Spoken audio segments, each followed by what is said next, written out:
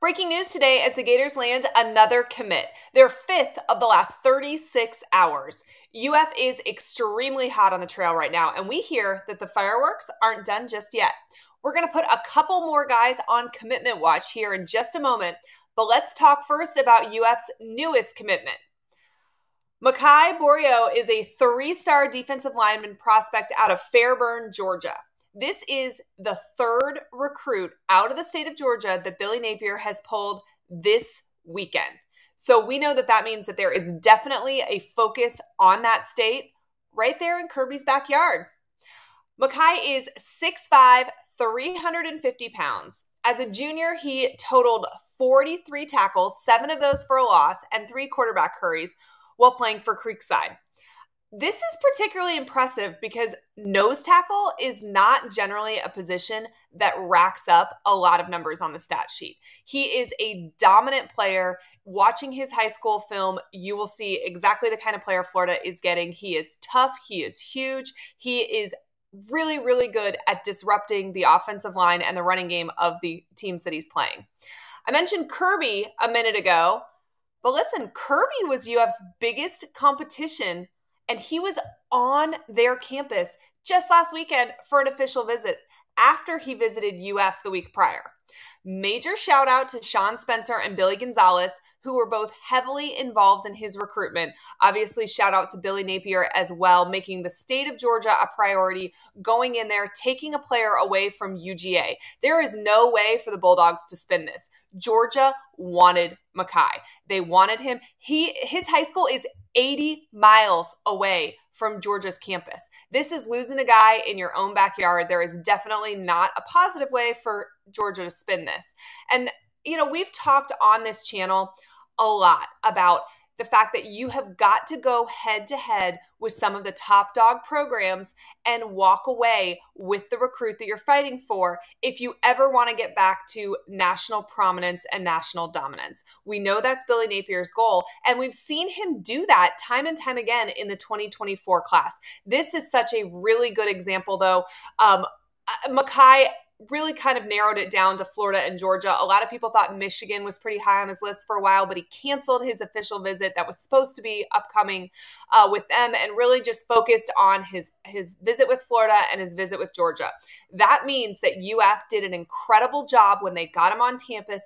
They were able to sell him on what he could do for the program. They were able to sell him on the facilities and the school better than Kirby was able to do. And that is a huge win, Gator fans. And it should be something that makes you really confident that this program is headed in the right direction. I gave you his stats before, but guys, this kid is absolutely massive. He is 6'5, 350 pounds. Another thing we talk about on this channel all the time you can't teach size. And we know that Florida really likes having big interior defensive linemen. When you look at a guy like Desmond Watson or others, they like a kid that they can coach up and really rely on to be a run stopping plug in the middle. You watch Michai's film, that is exactly what UF is getting. Just before we go on, do me a quick favor and comment below where you think UF's class will finish up this season. If they stay hot like this, the sky is the limit. But I want to know what you guys are thinking as well. Obviously, a big thing to like about Michai is his size, but he's also incredibly strong. He moves really well, especially considering his size, and he will certainly benefit from being in an SEC strength and conditioning program. I would not anticipate that he comes in and makes an immediate impact, but with some hard work, he could absolutely grow into an impactful role for the Gators. Shout out to this defensive staff. There have been a huge focus on defensive recruiting this cycle. And when you look at what UF has pulled in this class, the defensive side of the ball has been super, super impressive. It's also where the Gators needed the most work if you looked at their play over the last few seasons. So this is huge. Billy Napier knows that you had to fix the defense. Florida's defense has really just been kind of miserable the last couple of seasons. And if you're going to win those games, the defense really needed to improve. I think the 2024 class is going to help Napier and this team take a huge step in the right direction. Florida obviously had a phenomenal weekend, and we told you about the four commits plus Austin Simmons situation in videos over the weekend, and we'll link those at the end. But We've also been told that UF may not be done just yet.